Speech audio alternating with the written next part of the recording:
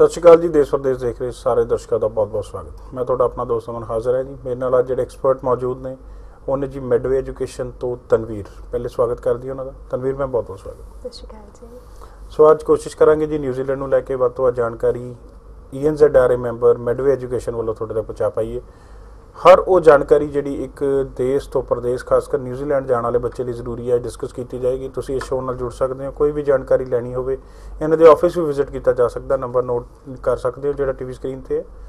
ਆਪਣੀ ਅਪਾਇੰਟਮੈਂਟ ਲੈ ਕੇ ਜਿਹੜਾ ਵੀ ਨੇੜੇ ਆਫਿਸ ਹੈ ਉੱਥੇ ਜਾ ਕੇ ਆਪਣੀ ਅਪਾਇੰਟਮੈਂਟ ਲੈ ਕੇ ਅਸੈਸਮੈਂਟ ਕਰਾ ਕੇ ਆਪਣੀ ਜਾਣਕਾਰੀ ਜਿਹੜੀ ਹੈ ਹਾਸਲ ਕੀਤੀ ਜਾ ਸਕਦੀ ਹੈ। ਸ਼ੁਰੂਆਤ ਕਰਨਾ ਚਾਹੁੰਦਾ ਹਾਂ। ਅੱਜ ਜਿਵੇਂ ਹੁਣ ਪ੍ਰੈਜ਼ੈਂਟ ਸਿਨੈਰੀਓ ਦੇ ਵਿੱਚ ਆਪਾਂ ਗੱਲ ਕਰੀਏ ਕੁਝ ਚੇਂਜਸ ਆਉਣ ਦੀ ਉਮੀਦ ਸੀਗੀ।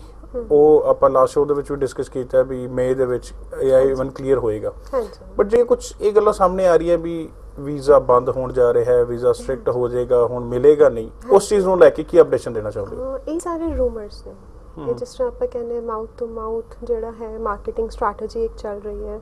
But this is not true ਇਹ ਸਾਰਾ ਕੁਝ ਰੂਮਰਸ ਹੈ ਤਰ੍ਹਾਂ ਕੁਝ ਨਹੀਂ ਹੈ ਇਨਫੈਕਟ ਮੈਂ ਤੇ ਹੁਣ ਤਰ੍ਹਾਂ ਕਵਾਂਗੀ ਕਿ ਜੋ ਵੀ ਹਾਈ ਕਮਿਸ਼ਨ ਨੇ ਚੇਂਜਸ ਲੈ ਕੇ ਆਏ ਆ 2016 ਔਨਵਰਡਸ ਉਹਦੇ ਨਾਲ ਜਿਹੜਾ ਵੀਜ਼ਾ ਪ੍ਰੋਸੈਸ ਹੈ ਹੋਰ ਵੀ ਜ਼ਿਆਦਾ ਸਟ੍ਰੀਮਲਾਈਨ ਹੋ ਚੁੱਕਾ ਹੈ ਇੰਨੀ ਅੱਛੀ ਐਪਲੀਕੇਸ਼ਨ ਜਿਹੜੀਆਂ ਰੈਡੀ ਟੂ ਲੌਂਚ ਵਾਲੀਆਂ ਔਰ ਜੋ ਗੁੱਡ ਵਰਕ ਐਕਸਪੀਰੀਅੰਸ ਵਾਲੀਆਂ ਐਪਲੀਕੇਸ਼ਨਸ ਹੈ ਸਿਰਫ ਉਹੀ fruitful results you are getting that ਹੂੰ ਤਾਂ ਇਹ ਪ੍ਰੋਸੈਸ ਦੇ ਥਰੂ ਕੋਈ ਵੀਜ਼ਾ ਬੰਦ ਨਹੀਂ ਹੋਇਆ ਐਂਡ ਇਨ ਫੈਕਟ ਕੰਮ ਹੋਰ ਜ਼ਿਆਦਾ ਸਟ੍ਰੀਮਲਾਈਨਡ ਹੋ ਚੁੱਕਾ ਹੈ Streamlined। ਹਾਂਜੀ। ਆਪਾਂ ਅੱਜ ਇੱਕ ਕੋਸ਼ਿਸ਼ ਕਰੀਏ ਕੋਰਸਿਸ ਨੂੰ ਲੈ ਕੇ ਡਿਸਕਸ਼ਨ ਕਰਨ ਦੀ ਥੋੜਾ ਜਿਹਾ ਕਿਉਂਕਿ ਕੋਰਸਿਸ ਨੂੰ ਲੈ ਕੇ ਕਾਫੀ ਜ਼ਿਆਦਾ ਕਨਫਿਊਜ਼ਡ ਹੈ ਬੱਚਾ। ਹੁਣ ਆਪਾਂ ਲੈਵਲ 5 6 ਤੋਂ ਸ਼ੁਰੂ ਕਰਦੇ ਹਾਂ। ਕਈ ਵਾਰੀ ਹੁੰਦਾ ਲੈਵਲ ਹੀ ਨਹੀਂ ਸਮਝ ਆਉਂਦੇ ਬੱਚੇ ਨੂੰ। ਹਾਂਜੀ। ਗ੍ਰੈਜੂਏਸ਼ਨ ਵਾਲੇ ਨੂੰ ਵੀ ਲੈਵਲ 5 6 ਦੇ ਦਿੱਤਾ ਜਾਂਦਾ। ਹੈ ਹਾਂਜੀ। ਡਿਪਲੋਮਾ ਵਾਲੇ ਵੀ ਨੂੰ 5 6 ਦਿੱਤਾ ਜਾਂਦਾ। ਹੈ ਪਲੱਸ 2 ਵਾਲੇ ਨੂੰ ਵੀ 5 6 ਦਿੱਤਾ ਜਾਂਦਾ। ਹੈ ਹਾਂਜੀ। ਫ਼ਰਕ ਕੀ ਹੈ ਲੈਵਲਸ ਦੇ ਵਿੱਚ? ਫ਼ਰਕ ਦੇਖੋ ਜਿਹੜੇ ਲੈਵਲ 5 6 ਹੈ ਉਹ 12 ਪਾਸ ਸਟੂਡੈਂਟਸ ਨੂੰ ਦਿੱਤਾ ਜਾਂਦਾ ਹੈ। ਉਹਦੇ ਵਿੱਚ ਸਪੈਸੀਫਿਕਲੀ ਸਾਡੇ ਕੋਲ ਆ ਜਾਂਦਾ ਹੈ ਜਿਸ ਤਰ੍ਹਾਂ ਕਿ ਆਪਾਂ ਬਿਜ਼ਨਸ ਕੋਰਸ ਲੈ ਲੈਂਦੇ ਆ ਆਈਟੀ ਕੋਰਸ ਲੈ ਲੈਂਦੇ ਆ ਹਸਪਿਟੈਲਿਟੀ ਕੋਰਸਸ ਲੈ ਲੈਂਦੇ ਆ ਜੇ ਕੋਈ ਸਟੂਡੈਂਟ ਕੁਕਰੀ ਆਪਟ ਕਰਨਾ ਚਾਹੁੰਦਾ ਹੈ ਤਾਂ ਉਹਦੇ ਲਈ ਲੈਵਲ 4 ਕੁਆਲੀਫਿਕੇਸ਼ਨ ਹੁੰਦੀ ਹੈ ਠੀਕ ਹੈ ਜੀ ਲੈਵਲ ਜਿਹੜਾ ਗ੍ਰੈਜੂਏਟ ਸਟੂਡੈਂਟ ਦੇ ਵਾਸਤੇ ਜਿਹੜਾ ਲੈਵਲ 5 to 7 ਬਣਿਆ ਹੈ but there are only some private institutes ਜੋ ਕਿ ਪ੍ਰੋਵਾਈਡ ਕਰ ਰਹੇ ਆ and Medway education consultancy we do not that much promote ਉਹ ਵਾਲੇ ਇੰਸਟੀਟਿਊਟਸ ਕਿਉਂਕਿ ਅਸੀਂ ਹਮੇਸ਼ਾ ਇਹੀ ਸਾਡੀ ਪ੍ਰੈਫਰੈਂਸ ਰਹਿੰਦੀ ਹੈ ਕਿ ਗ੍ਰੈਜੂਏਟ ਸਟੂਡੈਂਟ 6 ਬੈਂਡ ਸਕੋਰ ਕਰੇ ਉਹ ਲੈਵਲ 7 ਕੁਆਲੀਫਿਕੇਸ਼ਨ ਦੇ ਲਈ ਹੀ ਜਾਵੇ 5 ਐਂਡ 7 ਜਿਹੜਾ ਲੈਵਲ ਹੈ ਉਹ ਸਿਰਫ ਉਸ ਬੱਚੇ ਨੂੰ ਦਿੱਤਾ ਜਾਂਦਾ ਜਿਹਦੇ 5.5 ਰਹਿ ਜਾਂਦੇ ਆ ਆਇਲਸ ਵਿੱਚ। ਜਿਹਦੇ ਚ ਹਾਂਜੀ। ਆਇਲਸ ਬੈਂਡ ਪ੍ਰੋਪਰ ਨਹੀਂ ਸਕੋਰ ਕਰ ਹਾਂਜੀ ਪਾਇਆ ਆਇਲਸ ਬੈਂਡ ਪ੍ਰੋਪਰ ਨਹੀਂ ਸਕੋਰ ਪਹਿਲੇ ਲੈਵਲ 5 ਕਰੇਗਾ ਉਸ ਤੋਂ ਬਾਅਦ ਸਿੱਧਾ ਲੈਵਲ 7 ਹਾਂਜੀ ਦੇ ਫਿਰ ਸਿੱਧਾ ਲੈਵਲ ਜਾਏਗਾ। 7 ਜਾਂਦਾ ਹਾਂਜੀ। ਐਕਚੁਅਲ ਇਹ ਲੈਵਲਸ ਦੀ ਕਿੰਨੀ ਕੁ ਇੰਪੋਰਟੈਂਸ ਹੈ ਇੱਕ ਵੀਜ਼ਾ ਲੈਣ ਦੇ ਲਈ ਬੱਚੇ ਲਈ? ਹਾਂਜੀ ਬਿਲਕੁਲ ਲੈਵਲਸ ਦੀ ਹੀ ਇੰਪੋਰਟੈਂਸ ਹੈ ਟੂ ਗੈਟ ਦ ਵੀਜ਼ਾ ਅਗਰ ਤੁਸੀਂ 12th ਪਾਸ ਸਟੂਡੈਂਟ ਹੋ then definitely you'll go for level 5 and level 6 only. Main ਜਿਹੜਾ ਡਿਫਰੈਂਸ ਆਂਦਾ ਹੈ ਵਰਕ ਐਕਸਪੀਰੀਅੰਸ ਵਾਲੇ ਸਟੂਡੈਂਟਸ ਦੇ ਵਿੱਚ ਆਂਦਾ ਅਸੀਂ ਹਮੇਸ਼ਾ ਇਨਕਰੇਜ ਕਰਦੇ ਹਾਂ ਆਪਣੇ ਮੀਡੀਅਮਸ ਦੇ ਥਰੂ ਆਪਣੇ ਸ਼ੋਜ਼ ਦੇ ਥਰੂ ਕਿ ਵਰਕ ਐਕਸਪੀਰੀਅੰਸ ਵਾਲੇ ਸਟੂਡੈਂਟਸ ਨੂੰ ਹਮੇਸ਼ਾ ਨਿਊਜ਼ੀਲੈਂਡ ਕੁਆਲੀਫਿਕੇਸ਼ਨ ਨੂੰ ਫਰਸਟ ਪ੍ਰੈਫਰੈਂਸ ਦੇਣੀ ਚਾਹੀਦੀ ਹੈ ਬਿਕਾਜ਼ ਨਿਊਜ਼ੀਲੈਂਡ ਇੱਕ ਤਰ੍ਹਾਂ ਦੀ ਡੈਸਟੀਨੇਸ਼ਨ ਹੈ ਜਿੱਥੇ ਉਹਨਾਂ ਨੂੰ ਸਕਿਲਡ ਪੀਪਲ ਚਾਹੀਦੇ ਨੇ ਤੁਹਾਡੇ ਕੋਲ 10 ਸਾਲ ਦਾ ਵਰਕ ਐਕਸਪੀਰੀਅੰਸ ਹੈ 15 ਸਾਲ ਦਾ ਵਰਕ ਐਕਸਪੀਰੀਅੰਸ ਹੈ ਤੁਸੀਂ ਨਿਊਜ਼ੀਲੈਂਡ ਸਟੂਡੈਂਟ ਵੀਜ਼ਾ ਤੇ ਅਪਲਾਈ ਕਰ ਸਕਦੇ ਹੋ ਰਿਕੁਆਇਰਮੈਂਟਸ ਉਹਦੀਆਂ ਸਰ ਇਸ ਤਰ੍ਹਾਂ ਮੀਟ ਕਰਦੀਆਂ। ਗ੍ਰੈਜੂਏਟ ਸਟੂਡੈਂਟ ਜਿਸ ਤਰ੍ਹਾਂ ਹੈਗਾ ਹੀ or she can opt for level 7 qualification ਜੇ ਤੁਹਾਡੇ ਕੋਲ 2 ਸਾਲ ਦਾ ਵਰਕ ਐਕਸਪੀਰੀਅੰਸ ਹੈ ਉਸ ਤੋਂ ਪਲੱਸ ਵਰਕ ਐਕਸਪੀਰੀਅੰਸ ਹੈ ਤੇ ਤੁਸੀਂ ਲੈਵਲ 8 ਕੁਆਲੀਫਿਕੇਸ਼ਨ ਜਾਂ ਫਿਰ ਤੁਸੀਂ ਮਾਸਟਰ ਲੈਵਲ ਦੀ ਕੁਆਲੀਫਿਕੇਸ਼ਨ ਯੂਨੀਵਰਸਿਟੀਆਂ ਗਵਰਨਮੈਂਟ ਫੰਡਡ ਇੰਸਟੀਟਿਊਟਸ ਵਿੱਚ ਲੈ ਸਕਦੇ ਹੋ ਜਿਹੜਾ ਵਰਕ ਐਕਸਪੀਰੀਅੰਸ ਹੈ ਕੁਛ ਇਹਦੀ ਵੀ ਜਿਹੜੀ ਲਿਮਿਟੇਸ਼ਨ ਰੱਖੀ ਹੈ ਕਿ 2 4 5 ਸਾਲ ਤੱਕ ਚੱਲੇਗਾ ਜਾਂ ਜਿੰਨਾ ਵੀ ਹੋਵੇ ਕੋਈ ਪ੍ਰੋਬਲਮ ਨਹੀਂ ਹੈ? ਜਿੰਨਾ ਜ਼ਿਆਦਾ ਵਰਕ ਐਕਸਪੀਰੀਅੰਸ ਹੋਏ but in a proper systematic way work experience ਨੂੰ ਸ਼ੋ ਕਰਨਾ ਪੈਂਦਾ ਹੈ। ਕਿਵੇਂ ਸਿਸਟਮੈਟ ਕੀ ਹੁੰਦਾ? ਸਿਸਟਮੈਟਿਕ ਸੇ ਜਿਸ ਤਰ੍ਹਾਂ ਖਾਲੀ ਤੁਸੀਂ ਇੱਕ ਲੈਟਰ ਲਿਓ ਅਪਾਇੰਟਮੈਂਟ ਲੈਟਰ ਉਹ ਐਕਸੈਪਟੇਬਲ ਨਹੀਂ ਹੈ।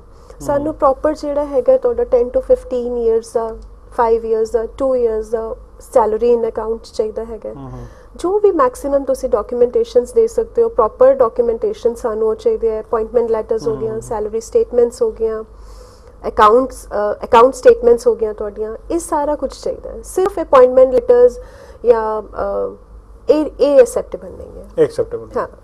ਹੁਣ ਕਈ ਵਾਰੀ ਹੁੰਦਾ ਹੈ, ਕਈ ਕੇਸਿਸ ਦੇ ਵਿੱਚ ਕੁੜੀਆਂ ਨੇ ਨਰਸਿੰਗ ਕੀਤੀ ਹੈ। ਜੀਐਨਐਮ ਏਐਨਐਮ ਜਾਂ ਬੀਐਸਸੀ ਨਰਸਿੰਗ ਉਸ ਤੋਂ ਬਾਅਦ ਐਕਸਪੀਰੀਅੰਸ ਦੇ ਵਿੱਚ ਨੇ ਜੌਬ ਕਰ ਰਹੀਆਂ। ਰਾਈਟ ਰਾਈਟ ਉਹਨਾਂ ਦੀ ਅੱਗੇ ਸਕੋਪ ਹੈ ਜੇ ਨਿਊਜ਼ੀਲੈਂਡ ਦੀ ਗੱਲ ਕਰੀਏ? ਬਿਲਕੁਲ ਬਿਲਕੁਲ। ਤੇ ਬਹੁਤ ਸਕੋਪ ਹੈ। ਸਾਡੇ ਕੋਲ ਇੱਕ ਗਵਰਨਮੈਂਟ ਫੰਡਡ ਇੰਸਟੀਚਿਊਟ ਹੈ ਤੋਹਿਓਮਾਈ ਜੋ ਕਿ ਰੋਟਰੂਆ ਦੇ ਵਿੱਚ ਸਿਚੁਏਟਡ ਹੈ।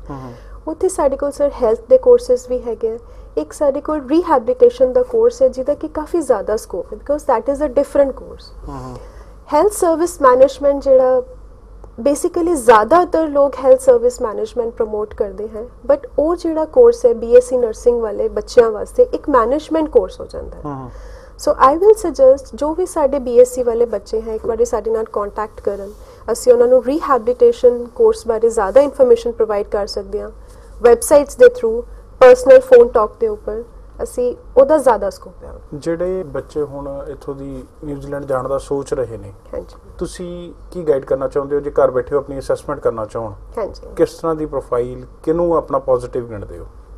ਸਰ ਪੋਜ਼ਿਟਿਵ ਇੱਕ ਤੇ ਰੀਸੈਂਟ ਪਾਸ ਕੁਆਲੀਫਿਕੇਸ਼ਨ ਹੋਣੀ ਚਾਹੀਦੀ ਹੈ। ਜੇ ਤੁਹਾਡੇ ਕੋਲ ਇੱਕ ਗੁੱਡ ਵਰਕ ਐਕਸਪੀਰੀਅੰਸ ਹੈ ਤਾਂ ਜਿਸ ਤਰ੍ਹਾਂ ਮੈਂ ਮੈਂਸ਼ਨ ਕੀਤਾ ਪ੍ਰੋਪਰ ਰਿਕਾਰਡ ਹੋਣਾ ਚਾਹੀਦਾ ਤੁਹਾਡੇ ਵਰਕ ਐਕਸਪੀਰੀਅੰਸ ਵੈਰੀਫਾਈ ਹੋਣੇ ਚਾਹੀਦਾ ਤੁਹਾਡਾ ਸਾਰਾ ਵਰਕ ਐਕਸਪੀਰੀਅੰਸ ਵੈਰੀਫਾਈ ਹੋਣਾ ਚਾਹੀਦਾ ਮੇਨ ਹੈ ਤਾਂ ਉਹ ਸਾਨੂੰ ਕੰਟੈਕਟ ਕਰ ਸਕਦੇ ਨੇ। ਆਇਲਸ ਬੈਂਡ ਨੂੰ ਲੈ ਕੇ ਫੰਡਸ ਨੂੰ ਲੈ ਕੇ ਕੀ- ਕੀ ਫਿਰ ਸਟੈਪ ਬਾਈ ਸਟੈਪ ਅਸੀਂ ਉਹਨਾਂ ਨੂੰ ਸਾਰੀ ਗਾਈਡਲਾਈਨਸ ਪ੍ਰੋਵਾਈਡ ਮੈਂ ਕਰਾਂਗੇ। ਥੋੜਾ ਜਿਹਾ ਚਾਹੁੰਦਾ ਆਪਾਂ ਕਾਉਂਸਲਿੰਗ ਦੇ ਰੂਪ ਚ ਇਹਨੂੰ ਡਿਸਕਸ ਕਰੀਏ। ਤਾਂ ਕਿ ਜੇ ਘਰ ਬੈਠੇ ਵੀ ਅਸੈਸਮੈਂਟ ਕਰ ਘਰ ਬੈਠੇ ਬੱਚੇ ਇਸ ਤਰ੍ਹਾਂ ਅਸੈਸ ਕਰ ਸਕਦੇ ਨੇ ਕਿ ਪਹਿਲਾਂ ਤਾਂ ਆਪਣੇ ਅਕੈਡਮਿਕਸ ਦੇਖਣ ਠੀਕ ਹੈ? 50% ਮਾਰਕਸ ਜਿਹੜੇ ਹੈਗੇ that is Minimum percentage. minimum percentage that is acceptable ਉਸ ਤੋਂ ਵੀ ਅਗਰ ਥੋੜਾ ਜਿਹਾ ਲੋ ਹੈ ਫਿਰ ਉਹਨਾਂ ਨੂੰ ਪ੍ਰਾਈਵੇਟ ਇੰਸਟੀਚਿਊਟਸ ਮਿਲ ਜਾਂਦੇ ਆ। ਉਸ ਤੋਂ ਬਾਅਦ ਵਰਕ ਐਕਸਪੀਰੀਅੰਸ ਵਾਲੇ ਸਟੂਡੈਂਟਸ ਨੂੰ 6 ਬੈਂਡਸ ਜਾਂ 6.5 ਬੈਂਡਸ ਚਾਹੀਦੇ overall not less than 6 in each module 12 pass ਜਿਹੜੇ ਬੱਚੇ ਹੈ ਉਹਨਾਂ ਨੂੰ 5.5 ਚਾਹੀਦਾ ਹੈ ਪੀਟੀ ਦੇ ਵਿੱਚ ਉਹਨਾਂ ਨੂੰ 44 ਜਾਂ 45 ਚਾਹੀਦੇ ਨੇ ਉਹ ਐਕਸੈਪਟੇਬਲ ਪਾਸਪੋਰਟ ਤੁਹਾਡਾ ਵੈਲਿਡ ਹੋਣਾ ਚਾਹੀਦਾ ਡਾਕੂਮੈਂਟੇਸ਼ਨ ਫਰਾਡੂਲੈਂਟ ਕੋਈ ਡਾਕੂਮੈਂਟ ਨਹੀਂ ਚੱਲੇਗਾ। ਫੰਡਿੰਗ ਪ੍ਰੋਸੈਸ ਦੇ ਲਈ 12 ਪਾਸ ਬੱਚੇ ਜਿਹੜੇ ਹੈਗੇ ਆ 25 ਤੋਂ 26 ਲੱਖ ਰੁਪੀਸ ਦਾ ਇੱਕ ਰਫ ਐਸਟੀਮੇਟ ਲੈ ਕੇ ਚੱਲਣ। ਜਿਸ ਤਰ੍ਹਾਂ ਅਸੀਂ ਆਪਣੇ ਪਿਛਲੇ ਸ਼ੋਅ ਦੇ ਵਿੱਚ ਵੀ ਮੈਂਸ਼ਨ ਕੀਤਾ ਸੀ ਕਿ ਸਾਡੇ ਕੋਲ ਗਵਰਨਮੈਂਟ ਫੰਡਡ ਇੰਸਟੀਚਿਊਟ ਹੈਗਾ ਜੋ ਕਿ 19 ਤੋਂ 20 ਲੱਖ ਦੇ ਵਿੱਚ ਵਿੱਚ ਲੈਵਲ 5 ਲੈਵਲ 6 ਦੇ ਦਿੰਦਾ ਤਾਂ ਉਹ ਬੱਚੇ ਸਾਡੇ ਨਾਲ ਕੰਟੈਕਟ ਕਰ ਸਕਦੇ ਆ। ਲੈਵਲ 7 ਵਾਸਤੇ 16 ਤੋਂ 17 ਲੱਖ ਰੁਪੀਸ ਉਹਨਾਂ ਨੇ ਸ਼ੋ ਕਰਨੇ ਹੈ। ਬਟ ਫਿਰ ਉਹੀ ਗਵਰਨਮੈਂਟ ਫੰਡਡ ਇੰਸਟੀਚਿਊਟ ਸਾਡੇ ਕੋਲ ਇੱਕ ਹੋਰ ਹੈਗਾ ਜੋ ਕਿ 14 ਲੱਖ ਦੇ ਵਿੱਚ ਲੈਵਲ 7 ਕੁਆਲੀਫਿਕੇਸ਼ਨ ਦੇ ਤੁਸੀਂ ਨਿਊਜ਼ੀਲੈਂਡ ਬਾਰੇ ਕੋਈ ਜਾਣਕਾਰੀ ਚਾਹੁੰਦੇ ਹੋ? ਈਐਨਜ਼ੈਡਆਰਏ ਮੈਂਬਰ ਮੈਡਵੇ ਐਜੂਕੇਸ਼ਨ ਤੋਂ ਤਨਵੀਰ ਜੀ ਮੇਰੇ ਨਾਲ ਨੇ। ਡਿਸਕਸ਼ਨ ਕਰਨ ਦੀ ਕੋਸ਼ਿਸ਼ ਕਰ ਰਹੇ ਹਾਂ। ਹਰ ਉਹ ਮੁੱਦਾ ਜਿਹੜਾ ਤੁਹਾਡੇ ਲਈ ਜਾਣਨਾ ਜ਼ਰੂਰੀ ਹੈ। ਫਿਰ ਵੀ ਕੋਈ ਰਹਿ ਜਾਂਦਾ ਸਵਾਲ ਜੋ ਮੈਂ ਨਹੀਂ ਸਾਂਝਾ ਕਰ ਪਾ ਰਿਹਾ, ਤੁਸੀਂ ਜਾਣਨਾ ਚਾਹੁੰਦੇ ਹੋ।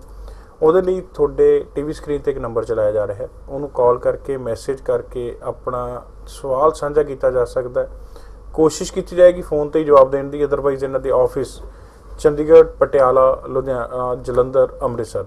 ਕਿਤੇ ਵੀ ਤੁਸੀਂ ਨੇੜੇ ਦਾ ਜਿਹੜਾ ਤੁਹਾਡਾ ਆਫਿਸ ਹੈਗਾ, ਉੱਥੇ ਵਿਜ਼ਿਟ ਕਰਕੇ ਜਾਣਕਾਰੀ ਜਿਹੜੀ ਉਹ ਸਾਂਝੀ ਕਰ ਸਕਦੇ ਹੋ। ਮੈਮ ਜਿਹੜੇ ਹੁਣ ਆਇਲਸ ਕਰ ਰਹੇ ਨੇ ਜਾਂ ਪੀਟੀ ਕਰ ਰਹੇ ਨੇ ਬੱਚੇ, ਉਹਨੂੰ ਲੈ ਕੇ ਵੀ ਕੋਈ ਮੈਡਵੇ ਸਰਵਿਸਿਜ਼ ਦੇ ਰਿਹਾ ਆਪਾਂ ਹਾਂਜੀ, ਬਿਲਕੁਲ। ਸਾਡੇ ਸਾਰੇ ਬ੍ਰਾਂਚ ਆਫਿਸਿਸ ਦੇ ਵਿੱਚ ਅਗਰ ਮੈਂ ਗੱਲ ਕਰਾਂ, Amritsar, Patiala, Jalandhar, Delhi, Chandigarh each and every branch ਦੇ ਵਿੱਚ ਸਾਡੇ ਕੋਲ ਆਇਲਸ ਪੀਟੀ ਦੀ ਕਲਾਸਿਸ ਹੈਗੀਆਂ।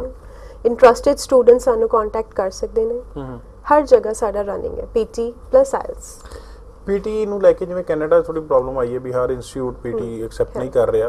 ਕੁਝ ਐਸਾ ਨਾ ਨਿਊਜ਼ੀਲੈਂਡ ਦੇ ਵਿੱਚ? ਨਹੀਂ ਨਿਊਜ਼ੀਲੈਂਡ ਦੇ ਵਿੱਚ ਤਰ੍ਹਾਂ ਕੁਝ ਨਹੀਂ ਹੈ। ਇਨਫੈਕਟ ਅਸੀਂ ਰეკਮੈਂਡ ਕਰਦੇ ਹਾਂ ਸਟੂਡੈਂਟਸ ਨੂੰ ਕਿ ਉਹ ਪੀਟੀ ਦਾ ਐਗਜ਼ਾਮੀਨੇਸ਼ਨ ਦੇਣ ਕਿਉਂਕਿ ਸਮਟਾਈਮਸ ਕੀ ਹੁੰਦਾ ਇੱਕ ਸਟੂਡੈਂਟ ਦੇ ਸਕਿੱਲਸ ਪਾਰਟਿਕੂਲਰ ਚੀਜ਼ ਵਾਸਤੇ ਕਿਤੇ ਘੱਟ ਰਹਿ ਜਾਂਦੇ ਨੇ। ਹੂੰ ਹੂੰ ਓਵਰਆਲ ਉਹਦੇ 6 ਬੈਂਡਸ ਆ ਜਾਂਦੇ ਆ ਬਟ ਇੱਕ ਦੇ ਵਿੱਚ 5 ਰਹਿ ਜਾਂਦੇ ਆ। ਤਾਂ ਅਸੀਂ ਇਸ ਤਰ੍ਹਾਂ ਦੇ ਸਟੂਡੈਂਟਸ ਨੂੰ ਹਮੇਸ਼ਾ ਰეკਮੈਂਡ ਕਰਦੇ ਹਾਂ ਕਿ ਉਹ ਰੀਅਪੀਅਰ ਕਰਨ ਐਂਡ ਪੀਟੀ ਐਗਜ਼ਾਮੀਨੇਸ਼ਨ ਦੇਣ ਕਿਉਂਕਿ ਪੀਟੀ ਦੇ ਜਿਹੜੀ ਸਕੋਰਿੰਗ ਹੈ ਉਹ ਇੰਡੀਵਿਜੂਅਲ ਮਾਰਕਸ ਨੂੰ ਨਹੀਂ ਦੇਖਦੀ ਓਵਰਆਲ ਓਵਰਆਲ ਮਾਰਕਸ ਨੂੰ ਦੇਖਦੇ ਆ। ਓਵਰਆਲ ਯੂਨੀਵਰਸਿਟੀਜ਼ ਵਾਲੇ। ਜਿਹੜੇ ਕੁਝ ਏਰੀਆਜ਼ ਨੂੰ ਲੈ ਕੇ ਵੀ ਜਿਹੜੀ ਚੇਂਜਸ ਆਉਂਦੀਆਂ ਨੇ ਕਿ ਖਾਸ ਕਰ ਪੀਆਰ ਦੇ ਪੁਆਇੰਟਸ ਨਹੀਂ ਮਿਲਦੇ ਆਕਲੈਂਡ ਦੀ ਗੱਲ ਕਰੀਏ। ਉਸ ਚੀਜ਼ ਨੂੰ ਲੈ ਕੇ ਵੀ ਗਾਈਡੈਂਸ ਕੀ ਰਹਿੰਦੀ ਹੈ ਤੁਹਾਡੀ ਜਿਹੜੀ ਸਟੂਡੈਂਟ ਨੂੰ ਦਿੰਦੇ ਹੋ? ਵੈਸੇ ਤੇ ਅਸੀਂ E ENZRA ਮੈਂਬਰਸ ਹਾਂ। ਅਸੀਂ ਸਟੂਡੈਂਟ ਵੀਜ਼ਾ ਕੰਸਲਟੈਂਟਸ ਹਾਂ। We do not guide or ਬੱਚਿਆਂ ਨੂੰ ਅਸੀਂ ਪੀਆਰ ਵਰਕ ਪਰਮਿਟ ਵਾਸਤੇ ਗਾਈਡ ਨਹੀਂ ਕਰਦੇ।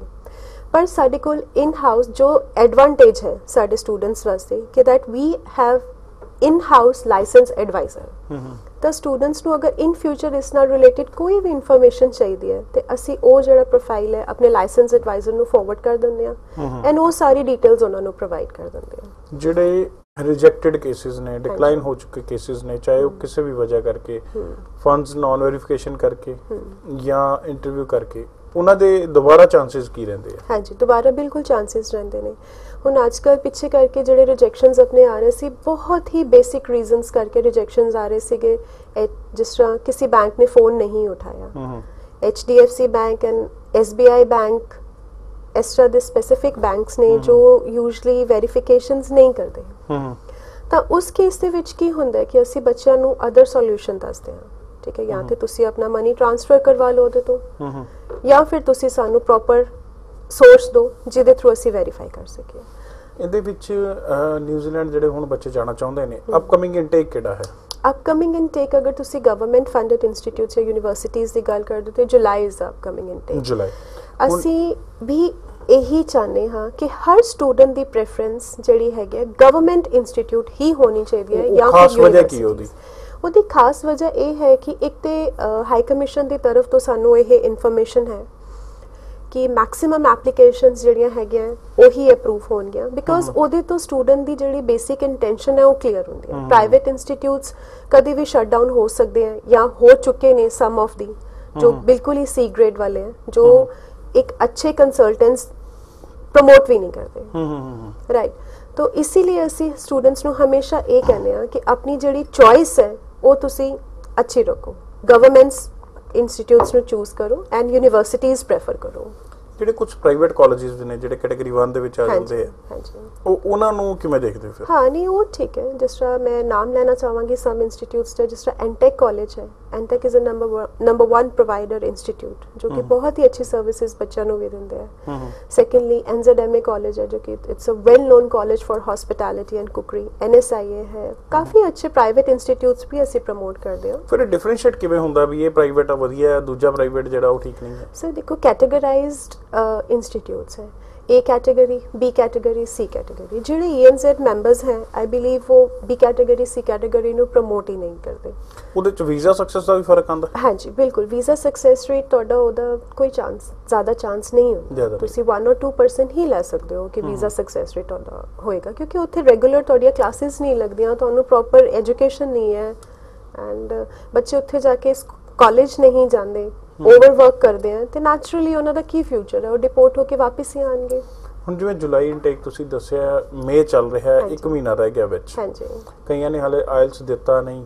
ਡੇਟਸ ਲੈਣ ਲਈਆਂ ਕਈਆਂ ਨੇ ਲੈਣੀਆਂ ਨੇ। ਉਹ ਵਾਲੇ ਸਟੂਡੈਂਟਸ? ਉਹ ਵਾਲੇ ਜਿਹੜੇ ਸਟੂਡੈਂਟਸ ਅੱਗੇ ਜਾ ਕੇ ਸਾਡੇ ਕੋਲ ਸਪਟੈਂਬਰ ਇਨਟੇਕ ਦੇ ਵਿੱਚ ਐਨਰੋਲ ਕਰ ਸਕਦੇ ਆ ਜੁਲਾਈ ਤੋਂ ਬਾਅਦ ਫਿਰ September ਜੁਲਾਈ ਤੋਂ ਬਾਅਦ। ਸਪਟੈਂਬਰ ਇਨਟੇਕ ਵਿੱਚ ਐਨਰੋਲ ਕਰ ਸਕਦੇ ਆ ਮਿਡ ਟਰਮਸ ਦੇ ਵਿੱਚ ਵੀ ਸਾਡੇ ਕੋਲ ਅੱਛੇ ਜਿਹੜੇ ਪ੍ਰਾਈਵੇਟ ਇੰਸਟੀਚਿਊਟਸ ਹੈ ਇਹ ਕੈਟਾਗਰਾਈਜ਼ਡ ਇੰਸਟੀਚਿਊਟਸ ਉਹਨਾਂ ਦੇ ਇਨਟੇਕਸ ਵੀ ਚੱਲਦੇ ਰਹਿੰਦੇ ਆ। ਤਾਂ ਉਹ ਬੱਚੇ ਵੀ ਸਾਨੂੰ ਕੰਟੈਕਟ ਕਰ ਸਕਦੇ ਨੇ। ਜਦੋਂ ਇੱਕ ਬੱਚਾ ਤੁਹਾਡੇ ਕੋਲ ਆਉਂਦਾ ਹੈ ਕਿਵੇਂ ਉਹਦਾ ਦੇਖਦੇ ਹੋ ਅਸੈਸਮੈਂਟ ਕਰਕੇ ਵੀ ਇਹਨੂੰ ਗਵਰਨਮੈਂਟ ਇੰਸਟੀਚਿਊਟ 'ਚ ਜਾਣਾ ਚਾਹੀਦਾ ਹੈ ਜਾਂ ਇਹਨੂੰ ਪ੍ਰਾਈਵੇਟ ਦੇ ਵਿੱਚ ਪਾਉਣਾ ਤੋਂ- ਕਿਵੇਂ ਡਿਸਾਈਡ ਕੀਤਾ ਹਾਂਜੀ ਜਾਂਦਾ ਸਭ ਤੋਂ ਪਹਿਲੇ ਤੇ ਬੱਚੇ ਦੀ ਥੋੜੀ ਜੀ ਪਰਸੈਂਟੇਜ ਦੇਖੀ ਜਾਂਦੀ ਹੈ। ਅਗਰ ਬੱਚਾ 60% ਦੇ ਕਰੀਬ ਹੈ ਤਾਂ ਮਤਲਬ ਕਿ ਉਹ ਸਿੰਸੀਅਰ ਸਟੂਡੈਂਟ ਹੈ। ਨਾਨ ਮੈਡੀਕਲ ਕੀਤੀ ਹੋਈ ਹੈ ਤਾਂ ਸਾਡੀ ਪ੍ਰੈਫਰੈਂਸ ਰਹਿੰਦੀ ਹੈ ਕਿ ਅਸੀਂ ਉਹਨੂੰ ਇੰਜੀਨੀਅਰਿੰਗ ਕੋਰਸਸ ਪ੍ਰੋਵਾਈਡ ਕਰੀਏ। ਹੂੰ ਹੂੰ। ਤਾਂ ਉਹਦੀ ਅਕੋਰਡਿੰਗਲੀ ਬੱਚੇ ਤੋਂ ਵੀ ਪੁੱਛ ਲਿਆ ਜਾਂਦਾ ਕਿ ਉਹਦੀ ਕੀ ਪ੍ਰੈਫਰੈਂਸ ਹੈ ਕਿਹੜੇ ਏਰੀਆ ਦੇ ਵਿੱਚ ਤੁਸੀਂ ਜਾਣਾ ਹੈ। ਉਹਦੇ ਅਕੋਰਡਿੰਗਲੀ ਅਸੀਂ ਉਹਨੂੰ ਕੋਰਸ ਸੁਜੈਸਟ ਕਰਦੇ ਹਾਂ। ਇਹ ਹਰ ਇੱਕ ਏਰੀਆ ਵਾਈਜ਼ ਹੁੰਦਾ ਵੀ ਇਹ ਫਲਾਣੇ ਏਰੀਆ ਦੇ ਵਿੱਚ ਇਹ ਕੋਰਸ ਦੀ ਡਿਮਾਂਡ ਹੈ ਇਹਦੇ ਜੌਬ। ਆਊਟਕਮਸ ਨਿਕਲਣਗੇ। ਉਹ ਉਹ- ਉਹਦੇ ਮੁਤਾਬਿਕ ਸਾਰਾ ਜਿਹੜਾ ਸਿਲੈਕਟ ਕੀਤਾ ਜਾਂਦਾ। ਨਹੀਂ ਇਸ ਤਰ੍ਹਾਂ ਨਹੀਂ ਹੈ। ਕੰਪਲੀਟਲੀ ਉਹ ਨਹੀਂ ਹੈ। ਬਟ ਇਸ ਤਰ੍ਹਾਂ ਹੈ ਜਿਸ ਤਰ੍ਹਾਂ ਹੁਣ ਕ੍ਰਾਈਸਟ ਚਰਚ ਇੱਕ ਇਸ ਤਰ੍ਹਾਂ ਦੀ ਸਿਟੀ ਹੈ ਜੋ ਕਿ ਰੀਬਿਲਟ ਹੋ ਰਹੀ ਹੂੰ। ਤਾਂ ਅਸੀਂ ਹਮੇਸ਼ਾ ਸਾਡੀ ਇਹ ਕੋਸ਼ਿਸ਼ ਰਹਿੰਦੀ ਹੈ ਕਿ ਸਾਡੇ ਇੰਜੀਨੀਅਰਿੰਗ ਵਾਲੇ ਜਿਹੜੇ ਸਟੂਡੈਂਟਸ ਨੇ ਉਹ ਕ੍ਰਾਈਸਟ ਚਰਚ ਦੇ ਵਿੱਚ ਜਾਣ। ਐਰਾ ਇੰਸਟੀਚਿਊਟ ਸਾਡੇ ਕੋਲ ਉੱਥੇ ਹੈਗਾ ਗਵਰਨਮੈਂਟ ਫੰਡਡ ਇੰਸਟੀਚਿਊਟ ਹੈ। That's a very good institute ਅਸੀਂ ਸਾਡੀ ਪ੍ਰੈਫਰੈਂਸ ਹੁੰਦੀ ਹੈ ਕਿ ਸਟੂਡੈਂਟਸ ਉੱਥੇ ਜਾਣ ਇੰਜੀਨੀਅਰਿੰਗ ਵਾਲੇ। ਅਗਰ ਮੈਂ ਗੱਲ ਕਰਦੀ ਹਾਂ ਹਸਪਿਟੈਲਿਟੀ ਇੰਡਸਟਰੀ ਦੀ ਤਾਂ ਰੋਟੋਰੂਆ ਜਾ ਸਕਦੇ ਆ। ਨਰਸਿੰਗ ਵਾਲੇ ਬੱਚੇ ਵੀ ਅਸੀਂ ਉੱਥੇ ਪ੍ਰੈਫਰ ਕਰਦੇ ਹਾਂ ਹੈਨਾ ਐਂਡ ਅਗਰ ਅਸੀਂ ਗੱਲ ਕਰਦੇ ਹਾਂ ਆਈਟੀ ਤੇ ਬਿਜ਼ਨਸ ਲਾਈਨ ਵਾਲੇ ਸਟੂਡੈਂਟਸ ਨੂੰ ਉਹਨਾਂ ਨੂੰ ਅਸੀਂ ਹਮੇਸ਼ਾ ਆਕਲੈਂਡ ਫਰਸਟ ਪ੍ਰੈਫਰੈਂਸ ਦਿੰਦੇ ਹਾਂ ਜਾਂ ਫਿਰ ਅਸੀਂ ਹਸਪਿਟੈਲਿਟੀ ਹੁਣ ਸਪੋਜ਼। ਕੋਈ ਰੋਟੋਰੂਆ ਨਹੀਂ ਜਾਣਾ ਚਾਹੁੰਦਾ ਵੀ ਥੋੜਾ। ਆਕਲੈਂਡ ਤੋਂ ਹਟ ਕੇ ਪੈ ਜਾਂਦਾ ਜਾਂ ਕਹਿ ਦਈਏ ਵੀ ਥੋੜਾ ਜੇ ਕਹੀਏ ਸ਼ਹਿਰ ਨਹੀਂ ਹੈ ਹਾਂ। ਹਨਾ ਹਾਂ। ਉਹ ਹੋਰ ਕਿਹੜੀਆਂ ਆਪਸ਼ਨਸ ਨੇ ਰੋਟੋਰੂਆ ਤੋਂ ਇਲਾਵਾ? ਹਸਪਿਟੈਲਿਟੀ ਵਾਸਤੇ? ਹਸਪਿਟੈਲਿਟੀ ਹਸਪ ਤੋਰੰਗਾ। ਤੋਰੰਗਾ। ਤੋਰੰਗਾ ਅੱਜ ਅੱਜ ਦੀ ਡੇਟ ਦੇ ਵਿੱਚ ਉਹ ਕਾਫੀ ਬੂਮਿੰਗ ਸਿਟੀ ਹੈ। ਹੂੰ ਹੂੰ ਐਂਡ ਉਹਦੇ ਵਿੱਚ ਅਸੀਂ ਸਟੂਡੈਂਟਸ ਨੂੰ ਰეკਮੈਂਡ ਕਰਦੇ ਹਾਂ ਹਸਪਿਟੈਲਿਟੀ ਵਾਸਤੇ ਪਲੱਸ ਟੂਰਿਜ਼ਮ ਵਾਸਤੇ। ਟੂਰਿਜ਼ਮ ਵਾਸਤੇ। ਹਾਂਜੀ ਕਿਉਂਕਿ ਉੱਥੇ ਇੱਕ ਕਾਫੀ ਵੱਡਾ ਪੋਰਟ ਹੈ। ਉੱਥੇ ਬੱਚਿਆਂ ਨੂੰ ਪਾਰਟ ਟਾਈਮ ਜੌਬਸ ਮਿਲ ਜਾਂਦੀਆਂ ਅਵੇਲ ਹੋ ਜਾਂਦੀਆਂ ਸੋ ਈਜ਼ੀਲੀ ਕਈ ਬੱਚਿਆਂ ਦਾ ਸਵਾਲ ਸੀਗਾ ਵੀ ਰੋਟੋਰੋਵਾ ਤੋਂ ਹਲਾਕ ਵੀ ਕੋਈ ਆਪਸ਼ਨ ਜਿਹੜੀ ਹੈ ਹਸਪਿਟੈਲਿਟੀ ਦੀ ਦੱਸੀ ਜਾਵੇ। ਮਿਡਵੇ ਤੋਂ ਉਹਨਾਂ ਵੱਲੋਂ ਜਾਣਕਾਰੀ ਜਿਹੜੀ ਦਿੱਤੀ ਜਾ ਰਹੀ ਹੈ ਟਰੰਗਾ ਸਿਟੀ ਦੇ ਵਿੱਚ ਉਹਨਾਂ ਲਈ ਕਾਫੀ ਵਧੀਆ ਆਪਸ਼ਨਸ ਨੇ ਟੂਰਿਜ਼ਮ ਨੂੰ ਲੈ ਕੇ ਵੀ ਤੇ ਹਸਪਿਟੈਲਿਟੀ ਨੂੰ ਲੈ ਕੇ ਵੀ। ਤੁਸੀਂ ਉਹ ਵੀ ਆਪਸ਼ਨਸ ਦੇਖ ਸਕਦੇ ਹੋ। ਟੋਰੰਗਾ ਕਿਵੇਂ ਪੋਜ਼ਿਟਿਵ ਦੇਖਦੇ ਹੋ ਹਸਪਿਟੈਲਿਟੀ ਨਾਲ ਰਿਲੇਟਡ ਕੋਰਸਸ ਦੀ? ਕੀ ਆਪਸ਼ਨਸ ਸਿੰਗੀਆਂ ਰਹਿਣਗੀਆਂ ਉੱਥੇ? ਸਰ ਉਹਦੇ ਵਿੱਚ ਕੀ ਹੁੰਦਾ ਹੈ ਕਿ ਇੱਕ ਸਰਟਨ ਟਾਈਮ ਪੀਰੀਅਡ ਹੁੰਦਾ ਹੈ ਹਰ ਸਿਟੀ ਦਾ। ਦਿਸ ਟਾਈਮ ਟੋਰੰਗਾ ਜਿਹੜਾ ਹੈਗਾ ਉਹ ਥੋੜਾ ਬੂਮਿੰਗ ਸਿਟੀ ਹੋ ਰਹੀ ਹੈ। People are moving there new ਅਪੋਰਚੁਨਿਟੀਆਂ ਆ ਰਹੀ ਜਿਸ ਤਰ੍ਹਾਂ ਕਿ ਮੈਂ ਮੈਂਸ਼ਨ ਕੀਤਾ ਕਿ ਉੱਥੇ ਪੋਰਟ ਹੈ। ਤਾਂ ਸਾਡੇ ਟੂਰਿਜ਼ਮ ਦਾ ਵੀ ਸਾਡੇ ਕੋਲ ਇੱਕ ਪ੍ਰਾਈਵੇਟ ਕਾਲਜ ਹੈਗਾ ਤਾਂ ਉਹ ਟੂਰਿਜ਼ਮ ਵਾਲੇ ਜਿਹੜੇ ਬੱਚੇ ਉੱਥੇ ਇਨਰੋਲ ਹੋ ਸਕਦੇ ਪਾਰਟ ਟਾਈਮ ਜੌਬਸ ਵਾਸਤੇ।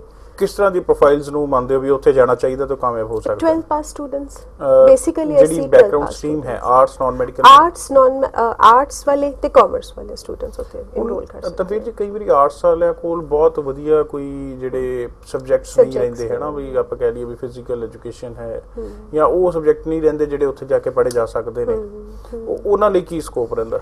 ਉਹਨਾਂ ਨੂੰ ਹਮੇਸ਼ਾ ਇਹੀ ਅਸੀਂ ਰეკਮੈਂਡ ਕਰਦੇ ਹਾਂ ਕਿ ਉਹ ਹਸਪਿਟੈਲਿਟੀ ਮੈਨੇਜਮੈਂਟ ਕੋਰਸ ਚੂਜ਼ ਕਰਨ। ਓਕੇ ਕਿਉਂਕਿ ਬਿਜ਼ਨਸ ਕੋਰਸ ਦੇ ਲਈ ਉਹਨਾਂ ਦੇ ਕੋਲ ਜ਼ਿਆਦਾ ਇਨਫੋਰਮੇਸ਼ਨ ਨਹੀਂ ਹੁੰਦੀ ਐਂਡ ਫਰਦਰ ਜੌਬਸ ਦੇ ਲਈ ਥੋੜੀ ਜਿਹੀ ਦਿੱਕਤ ਆ ਜਾਂਦੀ ਹੈ।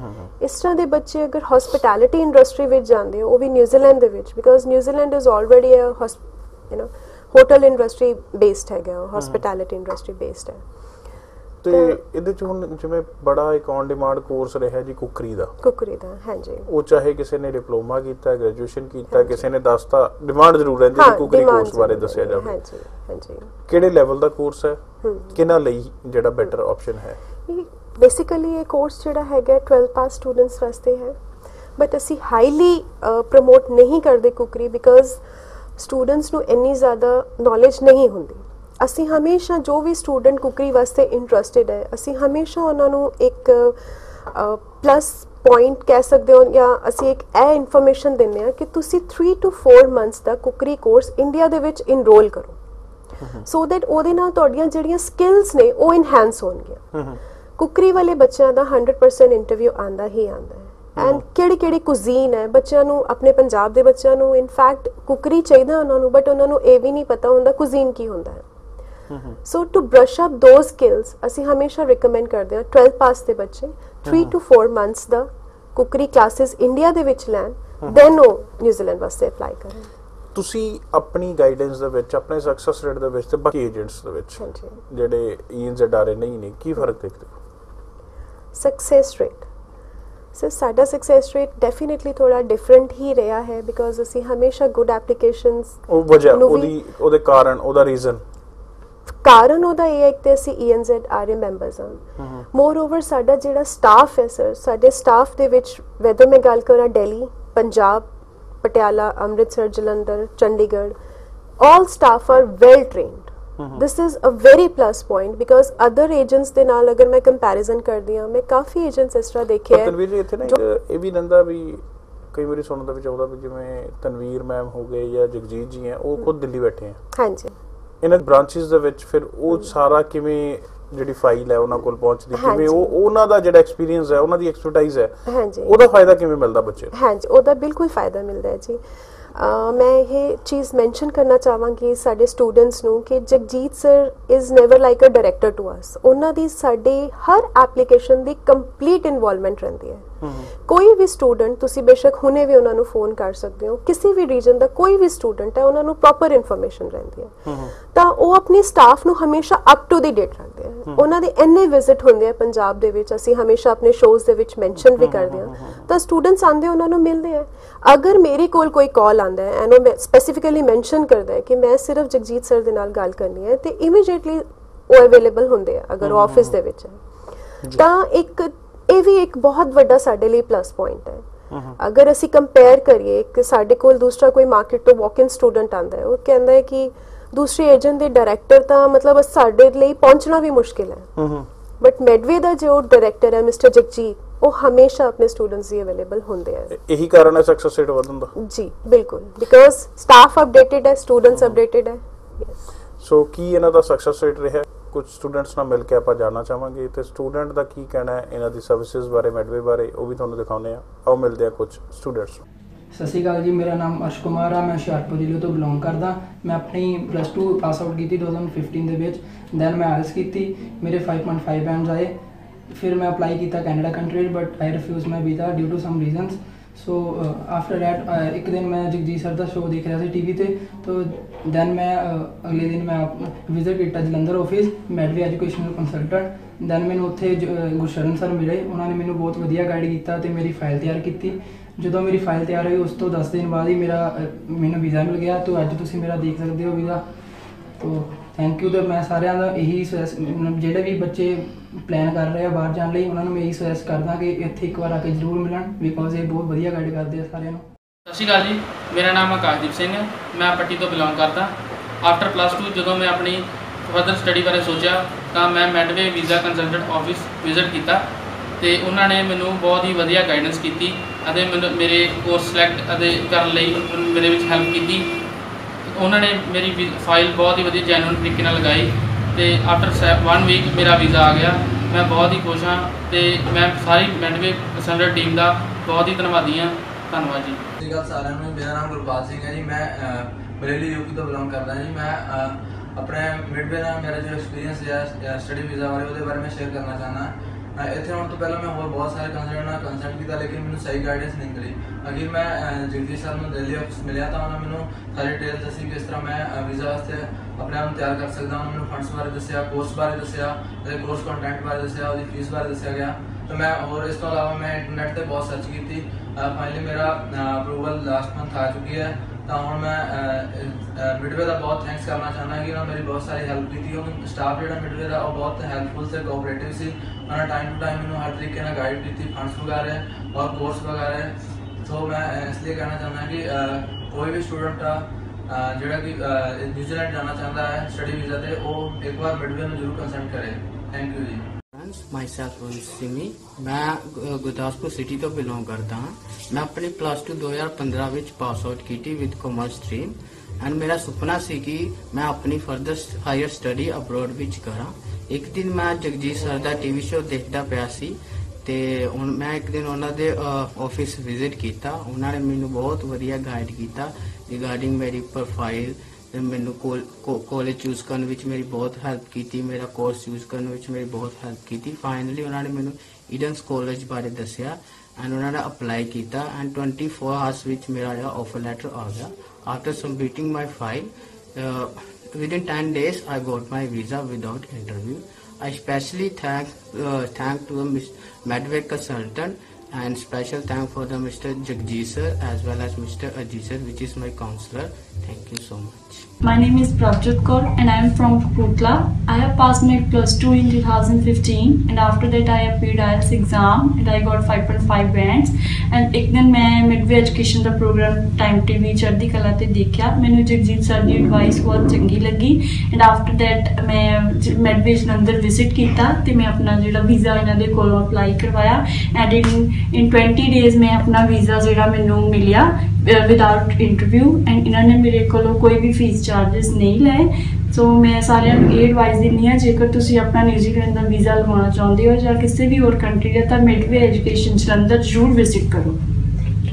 Thank you my name is Simranjot Singh and I am from Tanda ਮੈਂ ਇਹਨਾਂ ਮਿਡਵੇ ਵਾਲਿਆਂ ਦਾ ਪ੍ਰੋਗਰਾਮ ਚੜ੍ਹਦੀ ਕਲਾ ਟਾਈਮ ਟੀਵੀ ਤੇ ਦੇਖਦਾ ਸੀ ਤੇ ਇੱਕ ਦਿਨ ਮੈਂ ਇਹਨਾਂ ਦੇ ਦਫ਼ਤਰ ਆਇਆ ਜਲੰਧਰ ਤੇ ਇਹਨਾਂ ਨੇ ਮੈਨੂੰ ਬਹੁਤ ਵਧੀਆ ਗਾਈਡੈਂਸ ਪ੍ਰੋਵਾਈਡ ਕੀਤੀ ਆ।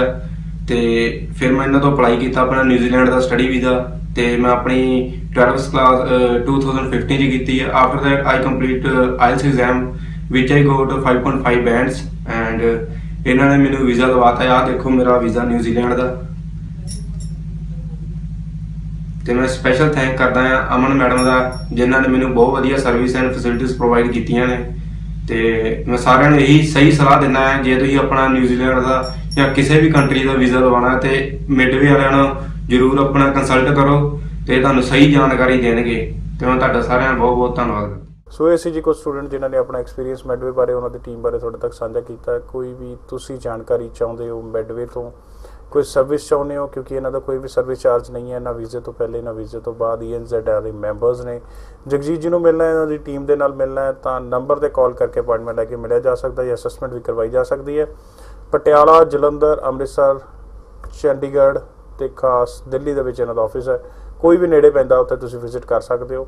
ਸੋ ਸ਼ੋਅ ਦਾ ਸਮਾਂ ਨਹੀਂ ਲਾਓ ਕਰ ਰਿਹਾ ਡਿਸਕਸ਼ਨ ਕਰਨ ਲਈ। ਸੋ ਤਨਵੀਰ ਜੀ ਸ਼ੋਅ ਦੇ ਵਿੱਚ ਆਉਣ ਲਈ ਬਹੁਤ ਬਹੁਤ ਧੰਨਵਾਦ। ਥੈਂਕ ਯੂ ਥੈਂਕ ਯੂ ਧੰਨਵਾਦ ਸਾਰੇ ਦਰਸ਼ਕਾਂ ਦਾ। ਅੱਜ ਦੇ ਸ਼ੋਅ ਨੂੰ ਇੱਥੇ ਖਤਮ ਕਰਦੇ ਹਾਂ। ਆਪਣੇ ਦੋਸਤਾਂ ਨੂੰ ਦਿਓ ਇਜਾਜ਼ਤ। ਧੰਨਵਾਦ। ਸਤਿ ਸ਼੍ਰੀ ਅਕਾਲ।